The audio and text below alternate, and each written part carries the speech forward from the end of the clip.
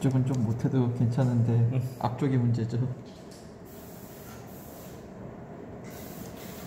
그래서 이 작업 하다 보면 핀셋은 정말 좋은 거 써야겠다는 생각이 확 들어요. 네. 한 번에 안 집힐 때막 짜증이 못 닦는 것 같아요 지금 기분이. 진짜 그래요. 어 진짜 5분 칠하자고 2시간을 마스킹하고 10분 칠하자고 막 하루 종일 마스킹하고 있어야 하고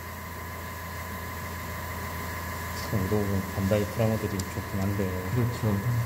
분할이 잘 돼 있으니까 네, 랜더로이드는 친송받아야 됩니다. 서로 서로 잘하고 계십니다